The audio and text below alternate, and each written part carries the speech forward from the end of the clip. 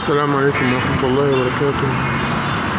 مسجد ومقام سيدنا الحسين أبو علي الملقب بسلطان أبو العلا واتصل نسبه للإمام الحسين رضي الله عنه وأرضاه هو من آل بيت رسول الله صلى الله عليه وسلم المتوفى سنة 895 وله كرامات.